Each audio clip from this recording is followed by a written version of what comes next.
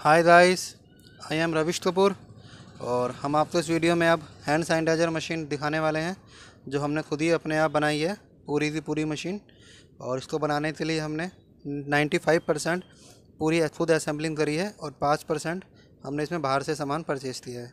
जैसे कि आप देख सकते हैं, आपके सामने हैंड सैनिटाइज़र मशीन जो है, आप इस समय है और इसके अंदर हमने ये हॉलिक्स की बोतल ली है, ये हमने पाइप ली है, ये हमने आईआर सेंसर लगाया है, ये इसका सर्किट है और यहाँ पे इसमें रेड कलर की, आप देख सकते हैं यहाँ पर रेड कलर की लाइट जलती है और ये हमने पूरा का पूरा खुद ही बनाया है। और इसको हमने चलाने के लिए यहाँ पर मोबाइल के किसी भी चार्जर से नॉर्मल आप चला सकते हो, नॉर्मल ये फाइव वोल्ट से ऑपरेटेड होता है।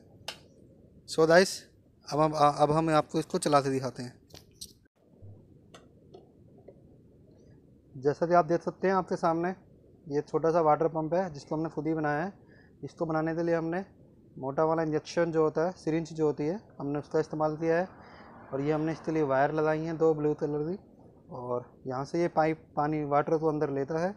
यानी इसके वाटर जो है, अपने इनपुट लेता है और यहाँ से वाटर की आउटपुट आती है। और ये पाइप है हमने, जो थी हमने यहाँ पे जोड़ी है। और ऐसे जोड़ने के बाद ये यहाँ पर जाके लग जाती है। और इस तरह से ये बाहर आता है। हम आप, अब हम आपको इसको चला के दिखाते हैं। यहाँ से हमने स्विच ऑन किया। और जब भी इसके अंदर हाथ, हम, हैंड आते लाएँगे यहाँ पे रेड कलर की लाइट चलेगी और हैंड इसके अंदर यहाँ मोटर ऑन हो जाएगी और हैंड सैनिटाइज़र बाहर आएगा।